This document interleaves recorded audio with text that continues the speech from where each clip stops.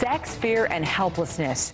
For the first time since Dallas County Health Director Zach Thompson was suddenly fired, we're seeing the detailed accusations from one woman inside that county office. We do want to thank you for joining us tonight here at 10 o'clock. I'm Kaylee O'Kelly. I'm Doug Dunbar. So this woman we talk about says that she felt helpless, said she was scared into silence because of the former director, and in her words, had her career in the palm of his hand. Andrea Lucia live at the health department tonight with these newly released accusations. Well, the woman claims longtime health director Zach Thompson pressured her into sex for nearly two years, then retaliated against her, angry over her repeated no's. In January, just after Thompson's firing, his attorney told CBS 11 he denies these allegations.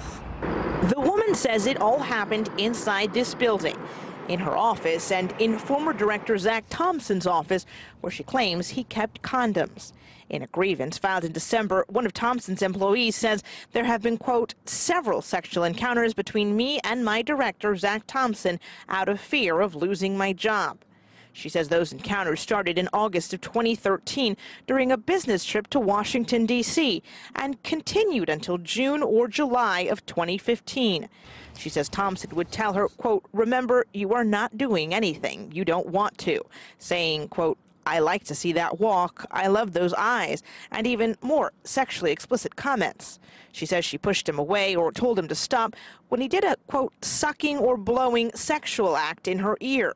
She filed the complaint one day after Director Thompson issued her what's called a corrective action subsequent warning relating to job performance. She claims the complaints about her work performance, or retaliation as she calls it, started at the beginning of 2016 when Thompson became angry with her refusals. The woman says she felt helpless to tell anyone because he was her direct superior and held her 20 year career and reputation in the palm of his hands. The woman said she started taking antidepressants and anxiety medication, worried that Director Thompson was trying to demote or fire her. She also claims she has a skirt that may or may not have Thompson's DNA on it. Reporting live in Dallas, Andrea Lucia, CBS 11 News.